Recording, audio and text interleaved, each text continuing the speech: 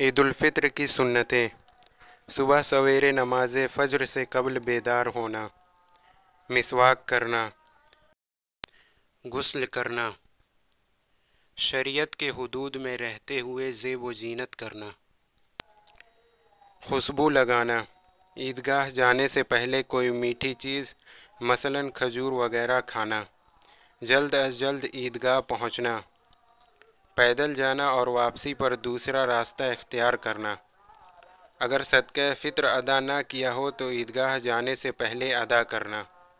ईद की नमाज़ ईदगाह में पढ़ना। रास्ते में ये तकबीरात आहिस्ता आवाज़ में पढ़ना।